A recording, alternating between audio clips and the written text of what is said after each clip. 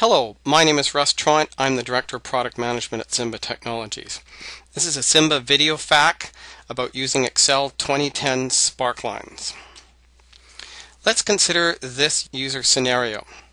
You're a VP of sales that needs to compare sales trends leading up to a recently completed month across many regions. It's easiest to spot trends using visual graphs, but you don't want dozens of large graphs in your report, one for each region nor do you need to see numbers for every month or quarter for each region. You need Excel 2010 Sparklines. Let's see a demo.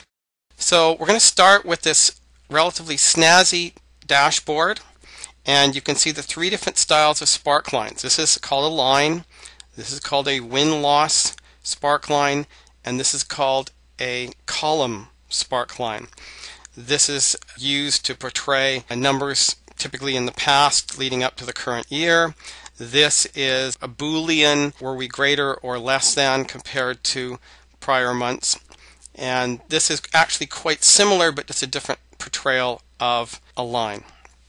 In order to show you how to build one of these, I'm going to start with something a little bit more conservative by quarters, just so that we can fit all on the screen here.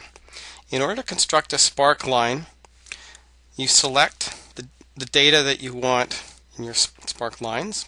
You go to Insert, you choose which kind of spark line you want, you choose where you want it pasted, and a shift click, and you click OK, and there's your spark line. If you look at this, immediately as a sales manager or VP of sales, you can see that Nevada has a downward trend in the last quarter and Rhode Island has a downward trend in the last quarter. Those are definitely states worth looking into.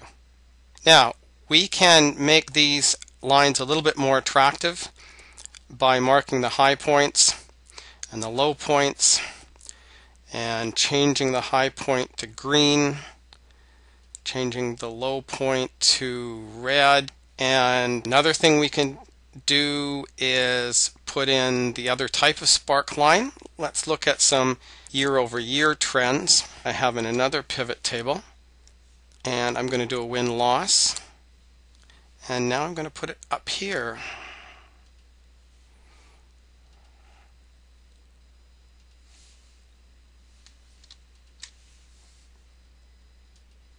Okay, and there's our win-loss bar charts. One last tip I want to give you that's really quite important if you're doing more than just quarters. If you're doing months, you end up with way too many columns. And you may want to get rid of some of the columns leading up to the last um, time period. And you might do that with a regular Excel column hide. One of the things that happens is your sparklines disappear. There is a way to fix that.